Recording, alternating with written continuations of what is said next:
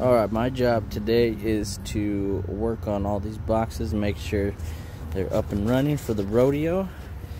I got uh, obviously a few issues from the exterior I gotta fix, but I plugged it in, condenser came on, and the evap fan did not turn on. So, uh, old timer taught me a trick, and I wanted to show that on camera as a easy fix. You can see it's rusted when these boxes these boxes get a lot of moisture. When they sit here for a while, they get uh, stuck with rust. So let's see. You, see. you can see the the rotor right here, and literally I'm putting my my screwdriver right here, and I can feel a magnetic pulse.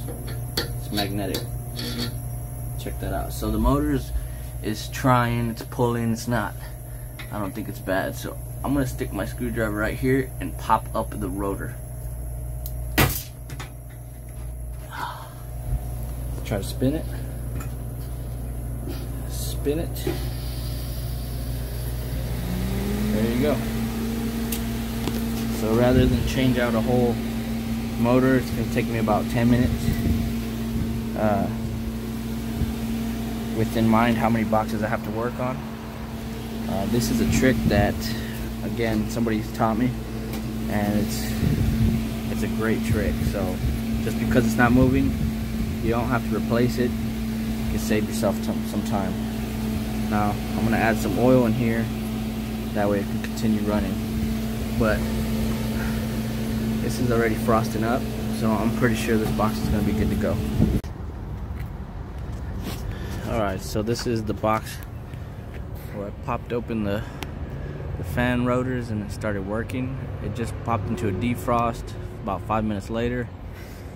I added some oil to the bearings, uh, to the rotor, and uh, the evap fan is working pretty good. So I went into defrost, want to make sure the defrost is working. So these heaters take anywhere from three to seven amps depending on the size of the box. So it looks like it's working good. And uh, I'm pretty confident this box is good to go these defrost timers are set for 15 minutes. So in about 15 minutes, I'll I'll let it get back up to temperature, make sure it gets to a freezing temperature so the ice can stay frozen. And this box is good to go. All right, so just came out of defrost and uh, let's open it up. Actually, before I open the door, it's only been cooling for like five ten minutes.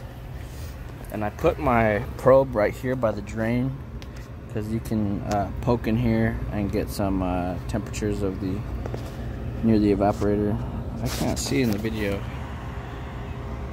But I know out here it says 13 I just can't see in the video. 13 degrees. This box is doing excellent.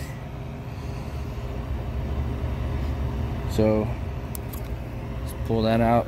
Make sure it's draining too. It's not plugged up or anything. This little tool pouch is my life. All right so I oiled up this motor while it was in defrost and it's I'm pretty much call this box good to go